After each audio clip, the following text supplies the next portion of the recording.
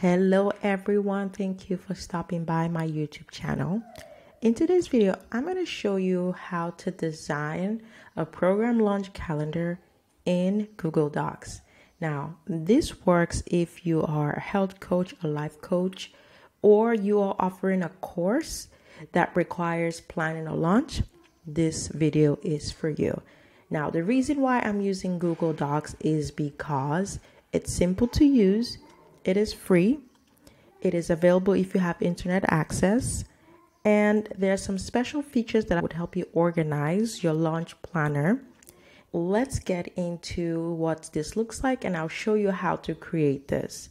This program launch calendar starts with a title. Then we have the name of the program. So this is just something you would type up.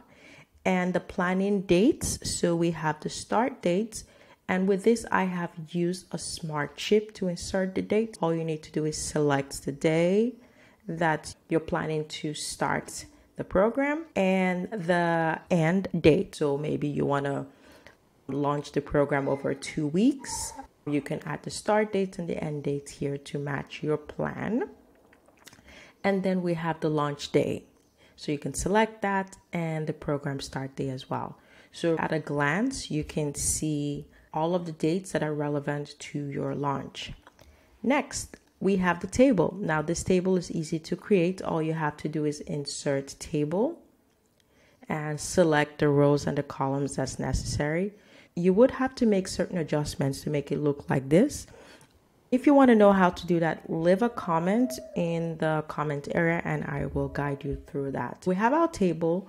We have the number of weeks, so week 1 to week 10 and we have the activities, resources needed, due date status, and notes. By the way, if you like this video and it's relevant to what you're looking for, don't forget to give it a like. If you want a copy of this template, I'll leave a link in the description box where you can download this template for free. All right, so here we have the columns and if you were using this template, for example, you wanted to add a column, all you have to do is right click and insert column to the left or to the right. You could also do the same for rows. So maybe you want to launch over 12 weeks, you can add additional rows. All right, so the first column is a number of weeks. Then we have the activities. And I've used checkboxes because you can cross them off as you go through the different activities that you have. The next column is the resources needed. Here you can create a list of everything that you would need to complete your launch. The due date, I use the smart chip option because that makes it easy to select the dates for the different activities. So all of these activities, you can have one due date. If you had more than one due date and you wanted to tie each activity to a due date, you can just paste an additional smart chip date option. That way you can select the additional day for the additional activity.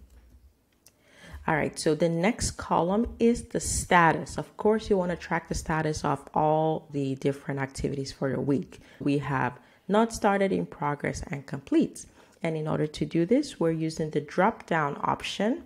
So if you don't know how to create this drop down option that we have here, I'll show you how to do it quickly. You have to go to insert and click drop down.